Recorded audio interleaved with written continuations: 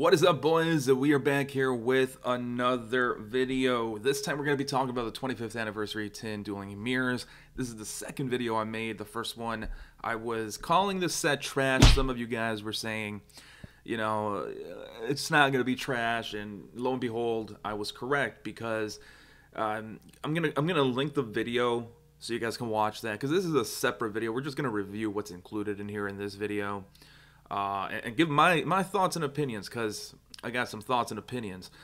But if you want to check out why this set, why I thought this set was trash, even before the set, even you know, the, we got the cards, uh, and why you know I was accurate because there are points I made in there that made it. It was it was more uh, quote unquote scientific, if you will. I had data, you know.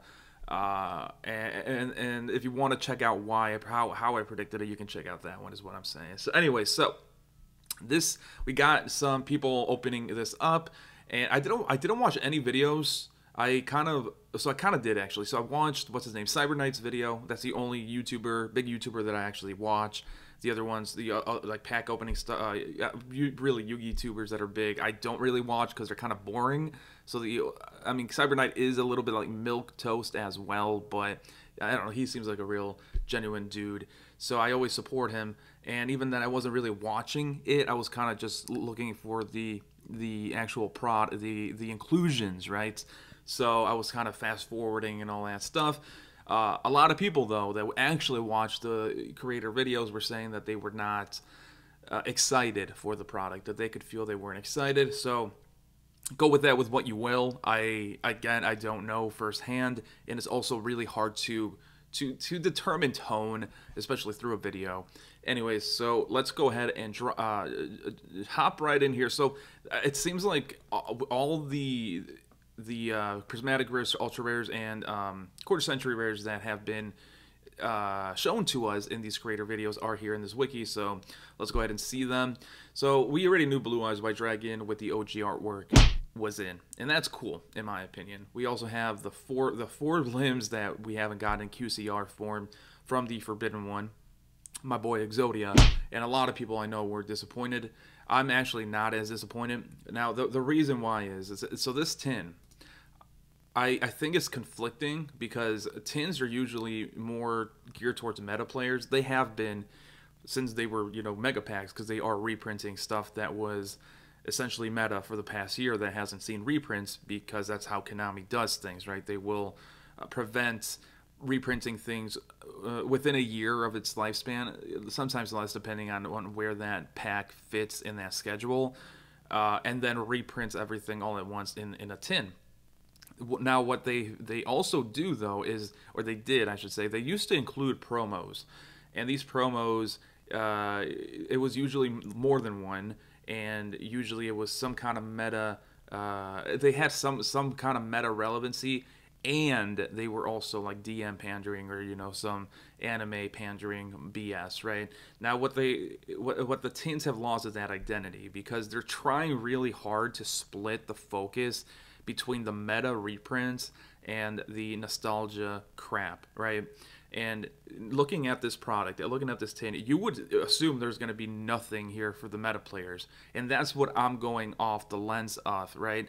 So going back to the inclusion of the the the Exodia limbs, I say that's okay because again, the product, if you if you take if you show pictures of the product to a random person on, on the street that is into Yu-Gi-Oh, of course, they would assume that it's going to be a lot of DM and looking at the sides, then the, you, they would also assume there's going to be some GX, all that crap, right? So including those in this product just be, be uh, just based on the image alone makes sense and I'm gonna use that as as I go forward. FYI, Toon Kingdom also makes sense. DM Relinquish Anima does not make sense. It is meta, but again, I'm going off the lens that this is not a meta set because that's what Konami's presenting it as. Scapegoat.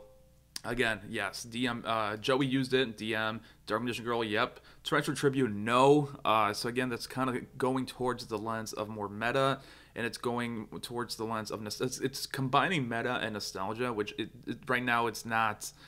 It, doesn't jive with the image of the set.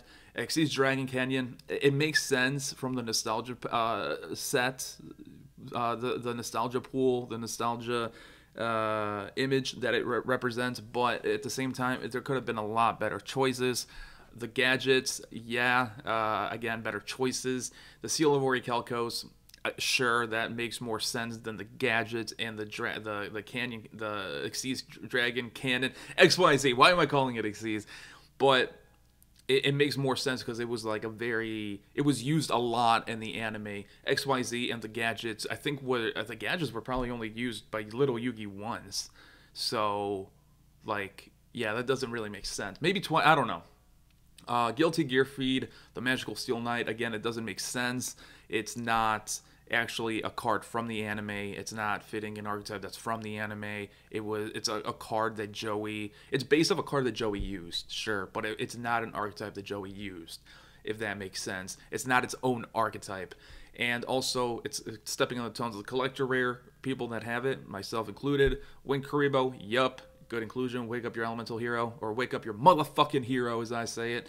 Yep, that makes sense. Opening the spirit gates, it makes a little bit of sense, but it also doesn't because they just hit this on the ban list. And again, it's trying to be, it's trying to touch the competitive scene and it's trying to touch the nostalgic scene. And when you split focus like that, which is the main focus of this video, guys, Konami is splitting the focus of the set. You cannot, it's not a good time. And that's why the set is going to flop, by the way.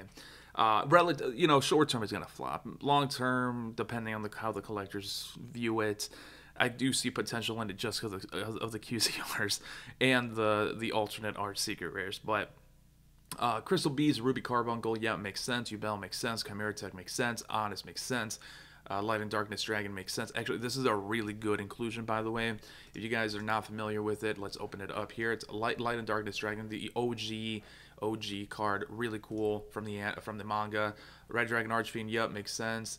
Uh, doesn't make sense. I think this is what is this? I have no idea. I think this is a competitive card. Doesn't make sense. I don't remember.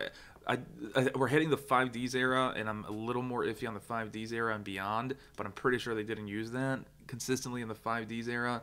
Uh, Ultimaya Tzolkin, yes, that's the the dragon. Wing, uh, Black Wing Dragon, sure. I, I think I already got a, a Starlight rare though. Cosmic Blazar Dragon, yeah, another Dragon Excel, yeah, yes, yes. All, all these make sense. Coach King, I think this is a more of a meta pick as well. Uh, again, I, I'm more iffy on on on the on these cards, but let, let's just let's just say we're already hitting some some weirdness here with the prismatic secret rares where they're splitting focus. Relinquish anima makes sense if the tins were more focused on, on the meta, but it seems like they're trying to be 50-50 where it's like kind the set is kind of for the meta people, but the set is also kind of for the, the nostalgia people. And it, when you split focus, you, you guys got to realize this as, as you as you as you uh, how, do, how do I phrase this? It, when you when you start working on things in a bigger scale, and Konami is a pretty big scale company, right? They're not a mom and pop operation. They are. Uh, they have uh, in America. They have different continent, different countries that they're working with, right?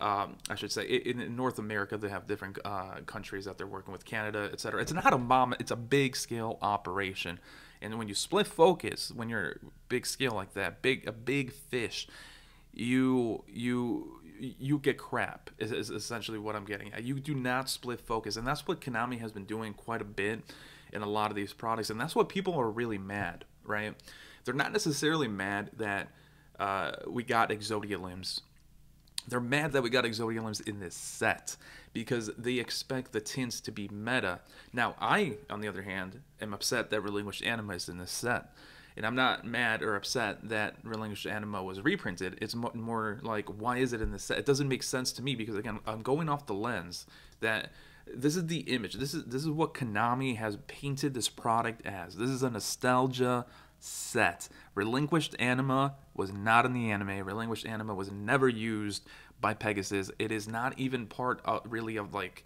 like it's just a generic card, right? There isn't really no there kind of is, but there's no relinquished archetype. There's no good relinquished archetype. You cannot play relinquished uh, in a competitive scene by itself. So why include a relinquished anima? It doesn't make sense, right?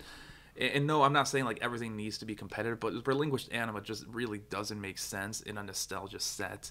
So you you are splitting focus. You are eh, this set just just doesn't hit any mark because you're trying to please too many people. What they should have done because it's a 400 set size set, um, make two make two like why why why not just make the tins heavily focused on the meta and that's what people you know expect a tin to be and then release another set and and include all these QCRs in there and have them be have that set be more nostalgia. And there are cards that we need that are eh, hard to find that could be included in that nostalgia set. And then you can also have people by the way. They can they can pick and choose which set they want to buy and then what they open they know exactly what they're going to get.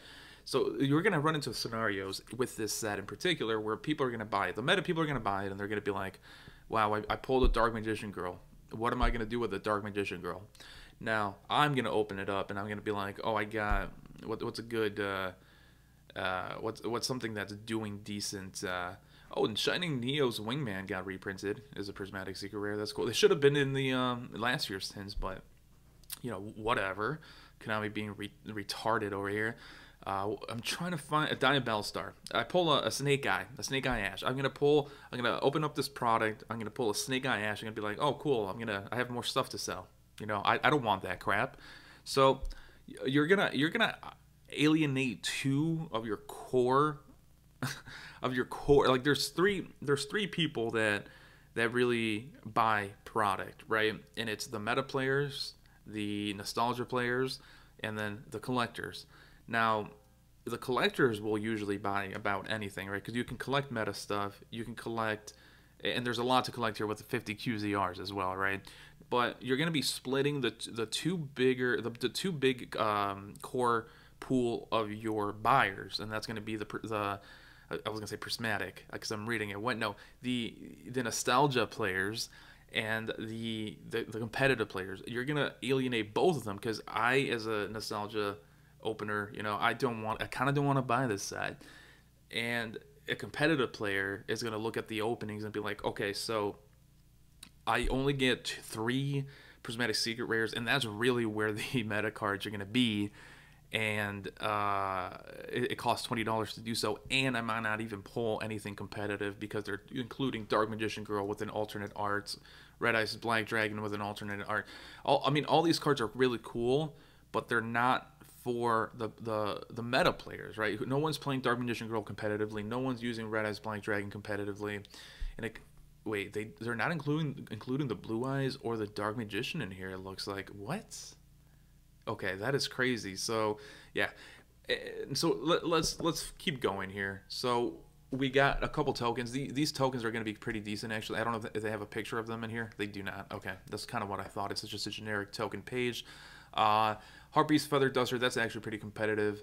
Let's see. So, uh, Elemental Hero, Shining Wing, Shining Neo's Wingman, it's it's pretty competitive actually, but only in hero decks and heroes or rogues. So making this a prismatic secret rare in this set, reprinting stuff from that should have been in last year's set again. Terrible move. Uh, favorite contact again. That's should have been last year's tin.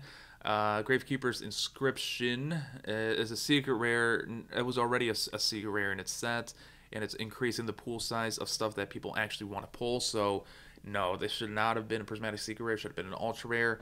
Let's see, Granola Dragon. I, that was already reprinted recently, so it didn't need another reprint. Uh, tier, all the Tearlament stuff is pretty decent actually. It's prismatic secret rare. Well, wait, hang on. They're, they were already reprinted. Why why are they in here again? Tearlaments cache here. Okay, that, I think that was from Syac. Yeah, that makes sense. Triple Tactics Thrust. Yeah, I mean that makes sense. Konami's gonna put really good cards as prismatic secret rares, obviously. Wannabe is a prismatic. That should have been an ultra rare at least. And I get that it's decent, but like it's it's not. Konami has this problem where they see a card that's kind of good in a very uh, specific niche, and then they put it in like a very hard, a, a very tight spot. Meaning like prismatic secret rares. There's like how many in here, dude? Holy shit! That wait what? Prismatic secret rares. So there's 102 occurrences. No way, bro. Wait, hang on. So there's not going to be a hundred and no way. So it's a hundred prismatic secret rares confirmed. So if you guys can see here, right, once we loop back, there's uh, an occurrence of prismatic secret rare here, here, and then it goes here in all of those. So if we, we omit those two occurrences that we know are not part of this list, there's a hundred prismatic secret rares. You get three per per tin, and then you get 12 tins for $180. So what is that? 18 times 3, 38, 24, so 54. Holy shit. You can get you can pull 54 if you spend $180 and there's a 100. You're and you're going to get doubles guaranteed. This is insanely terrible for the um, the competitive people. Oh my god, dude. This is like I'm actually like oh my god, man. And I, I predicted this. This is exactly what I predicted. I mean, yeah, uh, this is exactly what I predicted. Why is Spirit of Yubel in here? Why are, are they printing stuff from uh, Power of the Elements, Photon Hypernova? The, the, why is why is she in here? Wait, why is she in here, bro? Okay, hang on. What? Okay, that's the only besides the Yubel QCR, which makes sense. That is they're increasing the set size on purpose, guys. Because Spirit of Yubel is like a very cheap super rare currently, and, and, it's you know five months old. You know it doesn't need, and, and then SP Little Knight. Like okay, so think about this scenario, guys. You're trying to pull SP Little Knight because you're trying to play competitively, right?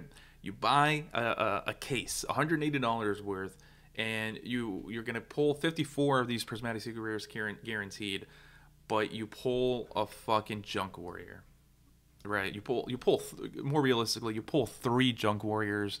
You pull wait why is blackluster soldier legendary? Why is what? Why is fighting flame swordsman as prismatic secret rare bro? What what dude all of the oh, all the oh, oh my god dude I, I think I'm gonna end it here I'm just gonna complain. This is this is not good. This is this is really not good, man. Like I I'm I'm this reaction is just, I, this is the first time I'm seeing this, guys. Like I said, I only watched parts of Cyber Knight's video. Oh my god, this this looks bad. And they're so re- reprinting stuff from uh, it looks like Wild Survivors, Maze of Memories. Yeah, they they should not have done Maze of Memories besides. Uh, uh, yeah, but they should have just not done anything for Maze of Memories or Wild Survivors, to be honest, uh, to decrease the set size here. So what what are the ultra rares actually? Before we go here, like, is there any good ultra rares? Heavy Poly. Oh, that's that's a new card. Uh, oh, let's look at this new card by the way. Fusion summon one fusion monster from your extra deck using three or more monsters from your hand or field as material. You can also banish monsters from your extra deck as material up to the number of monsters your opponent controls but you lose life points equal to the total attack of monsters banished this way. So that's pretty decent, actually. In certain decks, some decks might actually uh, run with it. Uh, ooh, wait, wait. Can you use the... Oh, no, you need three monsters. Okay, never mind. Uh, Melffy, Wally, let's see. Melffy's like, come on, bro. Ultra Rares. Uh, instant Contact. It, again, this this card should have been in last year's ten. They should have been. I don't know why why they're trying to milk uh, Power of the Elements so much here. Like, goddamn, dude. There's, I mean, so far I'm not seeing anything that's that's decent. Why is that an ultra rare? Actually, what the hell? Why is that an ultra rare? Uh, I'm pretty sure. Yeah, there's no super rares. There's it's only gonna be ultra. No rares. No no super rares. Only ultra rares and prismatics and QCRs. Yo, okay, yeah, we're gonna end it here because I'm just gonna bitch. There, uh, point being here, guys, is vote vote with your wallet. That's all I'm gonna say. Me, if I wasn't opening up stuff and I, if I wasn't interested in chasing QCRs, I would not be buying this. If you are a meta player, do not buy the set. Just buy the singles. Let people like me waste their fucking money because we're not gonna pull shit right with the pool size the way it is. And yeah, and in conclusion, Konami has to stop splitting focus. They what they could have done is we know Bonanza's coming up. Bonanza could have been moved up here, and that could have been the the nostalgia set, or the other way around. Maybe the tin could have been the nostalgia set, and Bonanza could have been the more meta focus set. But them splitting focus like this it, it target it, they try to target a lot of people at the same time but wind up targeting no people with how big the pool is how hard stuff is to pull and how un, unenthusiastic people are opening it up seeing something that they don't want don't need don't care about and then not buying any more product. That's the video guys. Catch you guys in the next one